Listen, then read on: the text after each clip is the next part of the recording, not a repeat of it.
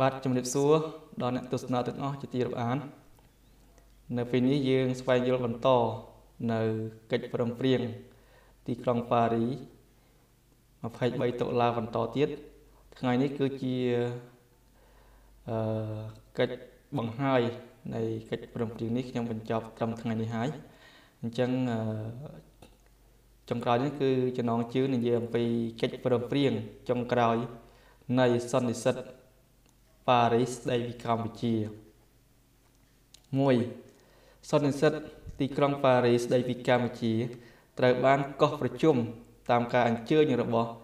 រដ្ឋាភិបាលនៃសាធារណរដ្ឋបារាំងក្នុងទិសដៅឈានទៅដល់ការដោះស្រាយរួមមួយនៃការធានាជាអន្តរជាតិដែលនឹងនាំសន្តិភាពមកឲ្យប្រទេស ដែលកំពុងកាត់ចំនួនប្រកបដោយសោកនាដកម្មនិងការបង្រួបនិងការបង្ហូរឈាមនេះសន្និសិទបានប្រព្រឹត្តទៅដោយមានសម័យប្រជុំ2លើក លើកទី1នៅថ្ងៃទី30ខែកក្កដាដល់ថ្ងៃទី30ខែសីហាឆ្នាំ1990 89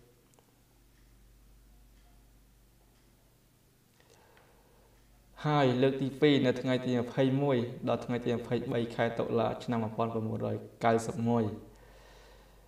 2សហប្រធាននៃសន្និសិទមានអេដាមរ៉ូឡង់ឌុយម៉ាសៃ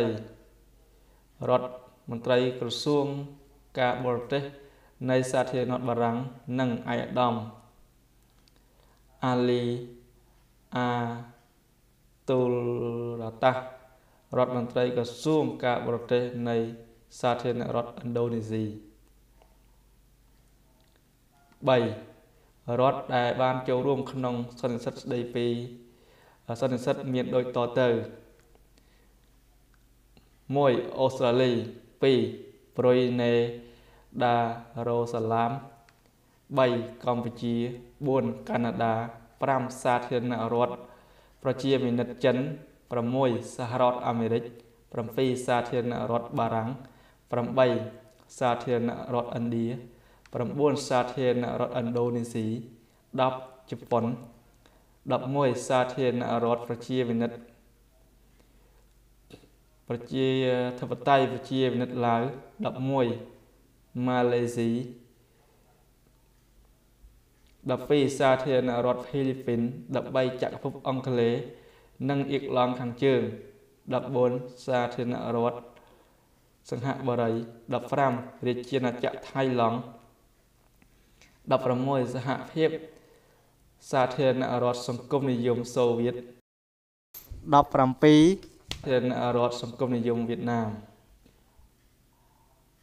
បន្ថែមលើនេះចលនាមិនចូលបសម្ព័ន្ធត្រូវបានតំណាងដោយរដ្ឋដែលធ្វើជាប្រធានចលនានោះចំពេលដែលសន្និសិទប្រជុំមួយលើកមួយលើកនោះគឺ Zimbabwe នៅសម័យប្រជុំទី1និង Yugoslavia នៅសម័យប្រជុំលើកទី2 4ក្នុងឱកាសសម័យប្រជុំលើកទី1នៃសន្និសិទទីប្រទេសកម្ពុជាត្រូវបានតំណាងដោយភាគីកម្ពុជា4ក្នុងឱកាសសម័យប្រជុំលើកទី2នៃសន្និសិទប្រទេសកម្ពុជាត្រូវបានតំណាងដោយក្រុមប្រឹក្សាជាតិជាន់ខ្ពស់ក្រមអធិបតីភាពនៃព្រះប្រធានរបស់ ខ្លួនគឺសម្ដេចនរោត្តមសីហនុ5អគ្គលេខាធិការនៃអង្គការសហជីវជាតិឯកឧត្តមហៅយេពេវេសដេតូអេយ៉ានិងតំណាងពិសេសរបស់លោកគឺលោករ៉ាហ្វីឌិនអាមែនក៏បានចូលរួមក្នុង សន្និសិទនេះដែរ6សន្និសិទបានរៀបចំការងាររបស់ខ្លួនដោយបង្កើតនៅគណៈកម្មការការងារចំនួន3ដែលអ្នកចូលរួមទាំងអស់មានតំណាងរបស់ខ្លួននៅក្នុងគណៈកម្មការទាំងនោះ ហើយដែលបានប្រជុំគ្នាក្នុងរយៈពេលនៃសម័យប្រជុំលើកទី1របស់សន្និសិទ គណៈកម្មការទី1បានពិភាក្សា លើបញ្ហាយោធាគណៈកម្មការទី2បានពិភាក្សាទៅលើការធានា អន្តរជាតិគណៈកម្មការទី3បានពិភាក្សាទៅលើមេត្តាភូមិនិវត្តនៃជនភៀសខ្លួន និងការកសាងប្រទេសកម្ពុជាឡើងវិញបណ្ដាប្រធាននិងអ្នករាយការណ៍របស់គណៈកម្មការនីមួយៗមាន ចំពោះគណៈកម្មការទី1ប្រធានមានលោកសរការេខាន់មកពីប្រទេសឥណ្ឌាលោកអាឡង់ស៊ូបេវ៉ាន់មកពីកាណាដា អ្នករាយការណ៍គឺលោកស្រីវីតូរីយ៉ាស៊ីសង់តេ ប៉ាតាខ្លង់ជិតជិតហ្វីលីពីនចំពោះគណៈកម្មការទី2គឺសហប្រធានមកពីលោកលោកស៊ូលីវងហ្វ្រាស៊ីធីដែនមកពីប្រទេសឡាវទី2លោកហ្សាណៃអាប៊ីឌិនអ៊ីប្រាហាំអ៊ីប្រាហ៊ីមមកពីម៉ាឡេស៊ីអ្នករាយការណ៍គឺលោក Airway Dazong De La Fati មកពីបារាំងចំពោះគណៈកម្មការទី3គឺសហប្រធានមកពីប្រទេសជប៉ុនគឺលោក Yukiyo Imagawa និងទី2គឺលោក Beck Tay Mary Les មកពីអូស្ត្រាលីអ្នករាយការណ៍គឺវរៈស្នីឯករ៉ូណាផុក ស្វាស់ឌីតាមកពីប្រជាជាតិថៃឡង់សន្និសិទក៏បានបង្កើតផងដែរនៅគណៈកម្មាធិការចំនួនបាទអត់ដឹងលេខប្រមាណបងមើលអត់ច្បាស់ដែលមានតំណាងរបស់ភាគីកម្ពុជា4ជាសមាជិកនិងដឹកនាំដោយតំណាងរបស់សហប្រជាជាតិទាំងពីរនៃសន្និសិទ ភារកិច្ចនៃគណៈកម្មការរៀបគណៈកម្មតិការនេះ គឺទទួលបន្ទុកបណ្ដាលបញ្ហាដែលតាក់ទងដល់ការបង្រួបបង្រួមជាតិរបស់បណ្ដាភាគីគណៈកម្មាធិការការពារឆន្ទគណៈកម្មការនេះមាន បានធ្វើកិច្ចប្រជុំច្រើនលើក នៅ ក្នុងពេលនៃសម័យប្រជុំ លើកទី1របស់សន្និសិទគណៈកម្មាធិការសម្របសម្រួលនៃសន្និសិទដឹកនាំដោយតំណាងរបស់អង្គការសហប្រជាជាតិទាំងពីរត្រូវបានបង្កើតឡើងដោយមានភារកិច្ចទទួលខុសត្រូវលើការសម្របសម្រួលជាទូទៅចំពោះការងាររបស់គណៈកម្មការទាំង4ផ្សេងផ្សេងទៀតត្រូវបានប្រគល់ឲ្យគណៈកម្មាធិការនេះ គណៈកម្មាធិការសម្របសម្រួល បានធ្វើការប្រជុំរាល់ពេលសម័យប្រជុំទី1ដល់ទី6របស់សន្និសិទការប្រជុំក្រៅផ្លូវការជាមួយរបស់គណៈកម្មាធិការសម្របសម្រួលក៏បានប្រព្រឹត្តទៅនៅទីក្រុងញូវយ៉កកាលពីថ្ងៃទី21ខែកញ្ញា ឆ្នាំ1991កន្លង ទៅនេះផងដែរ7នៅទីបញ្ចប់នៃសម័យប្រជុំលើកទី1សន្និសិទបានជឿនលឿនទៅមុខក្នុងរយៈពេលក្នុងការរៀបចំនៅចំណុចផ្សេងផ្សេងជាច្រើននិងចាំបាច់ដើម្បីឈានទៅដល់ការដោះស្រាយរួមនៃបញ្ហាចំនួនកម្ពុជាក៏ប៉ុន្តែសន្និសិទបានកត់សម្គាល់ ថានៅពុំទាន់មានលទ្ធផលឈានទៅដល់ចំនួនឈានទៅដល់ដំណោះស្រាយរួមនៅឡើយទេហេតុដូច្នេះមាន ការសម្រេចថាត្រូវផ្អាកសន្និសិទនៅថ្ងៃទី30សីហាឆ្នាំ1989សិនជាមួយគ្នានោះសន្និសិទក៏បានអំពាវនាវដល់ភាគីតាក់ទងទាំងអស់ ឲ្យបង្កើតការខិតខំប្រឹងប្រែងឈានទៅដល់ដំណោះស្រាយរួម និងបានស្នើឲ្យដល់សហប្រធានឲ្យជួយឧត្តមឧបត្ថម្ភជ្រោមជ្រែងសម្រួលដល់ការខិតខំទាំងនេះ9បន្ទាប់ពីមានការផ្អាកសម័យប្រជុំលើកទី1នៃសន្និសីទនេះមកសហប្រធាននិងអគ្គលេខាធិការអង្គការសហប្រជាជាតិបានធ្វើ ការពិគ្រោះយ៉ាងទូលំទូលាយជាពិសេសជាមួយនឹងសមាជិកអចិន្ត្រៃយ៍ទាំង5របស់ក្រុមប្រឹក្សាសន្តិសុខក្នុងអង្គការសហប្រជាជាតិជាមួយនឹងក្រុមប្រឹក្សាជាតិជាន់ខ្ពស់កម្ពុជា និងជាអ្នកចូលរួមដទៃទៀតនៃសន្និសីទប៉ារីកម្មវត្ថុនៃការវិគ្រោះគ្នានេះ គឺរៀបចំកិច្ចព្រមព្រៀងមួយស្ដីពី ទស្សនវិជ្ជាទាំងអស់នៃការដោះស្រាយការធានានៅទំនាក់ទំនងនៃគណិតដូចផ្ដើមទាំងអស់ដែលត្រូវបានអនុម័តនៅក្នុងពេលក្នុងគោលបំណងនោះនឹងបានបង្កើតលទ្ធភាពក្នុងការបញ្ចប់ការបង្ហូរឈាមនៅកម្ពុជាឲ្យបានឆាប់ជាទីបំផុតការប្រឹងប្រែងរបស់សហប្រធាននិង អគ្គលេខាធិការបានអនុញ្ញាតឲ្យកោះប្រជុំជាថ្មីនៅសន្និសីទក្រុងរាប៉ារី នៅកម្ពុជា9នៅក្នុងដំណាក់កាលបើកសម័យប្រជុំទីបញ្ចប់នៃសន្និសីទទីក្រុងប៉ារីសថ្ងៃទី23តុលា1991ឯកឧត្តម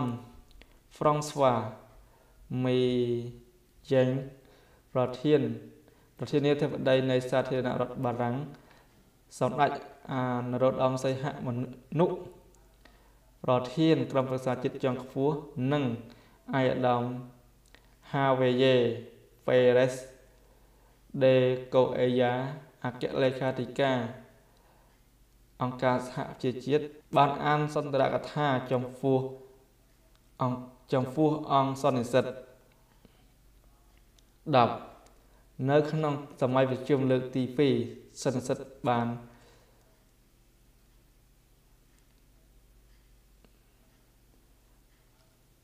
អនុលោមនៅឯកសារដូចខាងក្រោមនេះ1កិច្ចព្រមព្រៀងស្តីពីដំណោះស្រាយរួមមួយនៃចំនួនកម្ពុជា ដោយមានជាប់នៅឧបសម្ព័ន្ធស្តីពីភារកិច្ចរបស់ អញ្ញាធិបបណ្ដោះអាសន្នរបស់អង្គការសហប្រជាជាតិនៅកម្ពុជាយោធាបញ្ហាយោធាការបោះឆ្នោតមាតុភូមិនិវត្តនៃជនភៀសខ្លួននៅកម្ពុជា និងជនផ្លាស់ទីកន្លែង និងរដ្ឋធម្មនុញ្ញថ្មីរបស់កម្ពុជា2កិច្ចព្រមព្រៀងស្តីពីអធិបតេយ្យភាពឯករាជ្យបូរណភាពនិងភាពមិនអាច រំលោភបាននៃដែនដី ភាពអព្យាក្រឹតនិងភាពនិងឯកភាពជាតិកម្ពុជា និងទី3សេចក្តីថ្លែងការណ៍ស្តីពីការស្ដារនិងការកសាង ប្រទេសកម្ពុជាឡើងវិញឯកសារទាំងនេះត្រូវបានរៀបចំឡើងលើមូលដ្ឋាននៃឯកសារក្របខ័ណ្ឌដើម្បីដោះស្រាយបញ្ហា នយោបាយរួមនៃកម្ពុជា ដែលត្រូវបានអនុម័ត ដោយសមាជិកអចិន្ត្រៃយ៍ទាំង5នៃក្រុមប្រឹក្សាសន្តិសុខសហអង្គការសហប្រជាជាតិកាលពីថ្ងៃទី28ខែសីហាឆ្នាំ1990និងឯកសារការងារដែលត្រូវបានរៀបចំឡើងនាសម័យប្រជុំលើកទី1របស់សន្និសិទឯកសារទាំងនោះគ្រោងនៅដំណើរការបន្តបន្ទាប់មួយដែលនៃការបង្រួបបង្រួមជាតិព្រមទាំង ទូនាទីមួយដ៏ធំទូលាយរបស់អង្គការសហប្រជាជាតិដែលអនុញ្ញាតឲ្យប្រជាជនកម្ពុជា កំណត់យកអនាគតនយោបាយរបស់ខ្លួនតាមរយៈការបោះឆ្នោតដោយសេរីនិងត្រឹមត្រូវរៀបចំនិងដឹកនាំដោយអង្គការសហប្រជាជាតិក្នុងបរិយាកាសនយោបាយអព្យាក្រឹតមួយនិងដោយមានការគោរពពេញទី ចំពោះអធិបតេយ្យភាពជាតិរបស់កម្ពុជា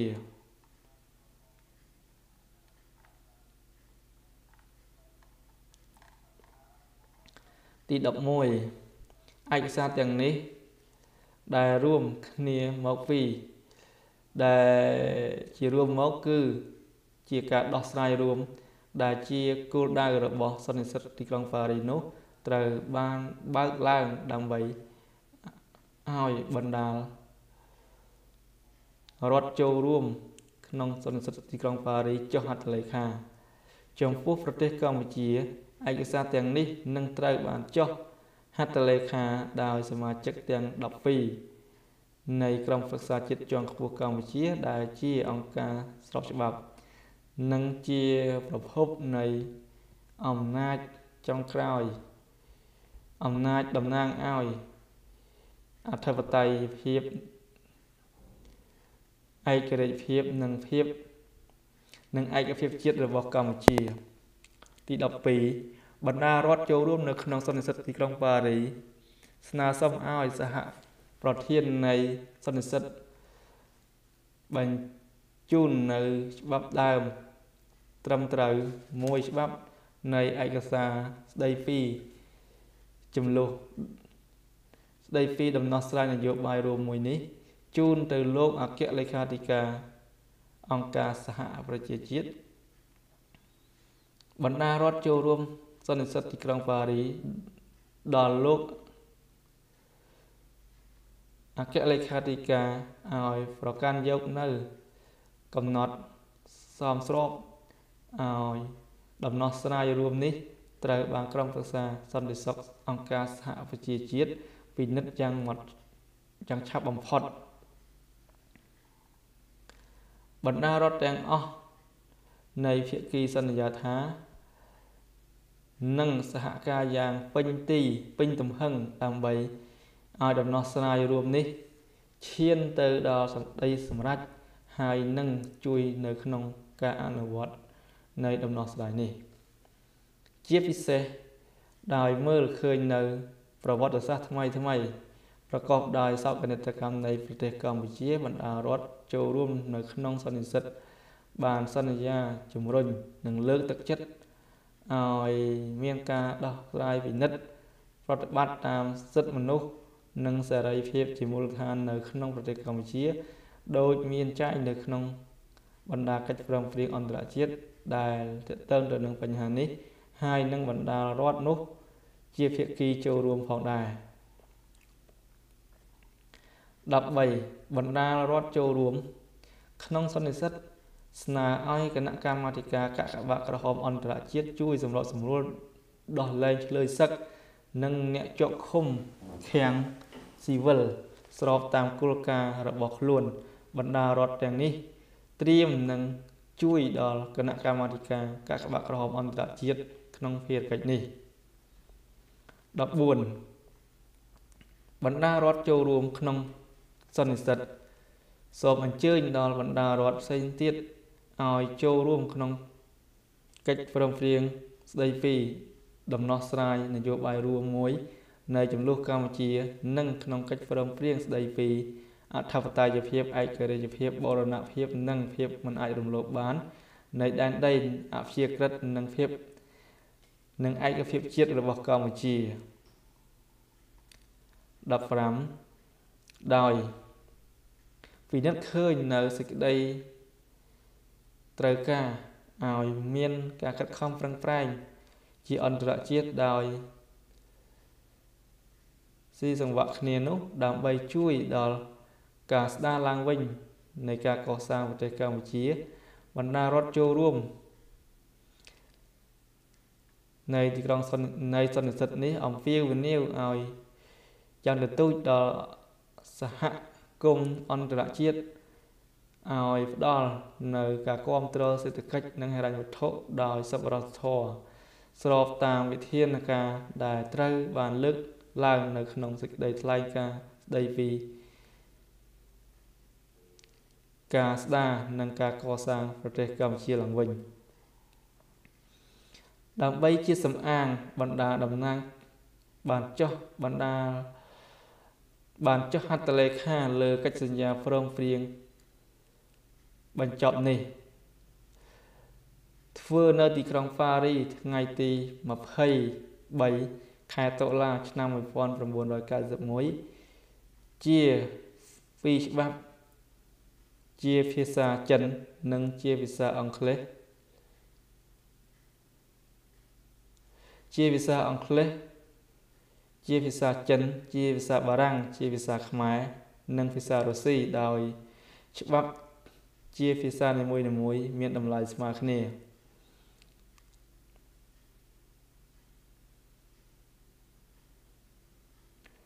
ច្បាប់ដើមនៃកិច្ចសន្យា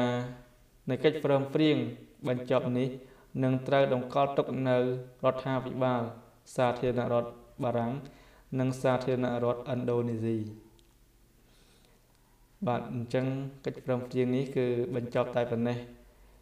គឺខាងក្រោមនេះគឺជាហត្ថលេខាខ្ញុំបានបង្ហាញជូនបងប្អូនកាលពីលើកមុនហើយបាទអញ្ចឹង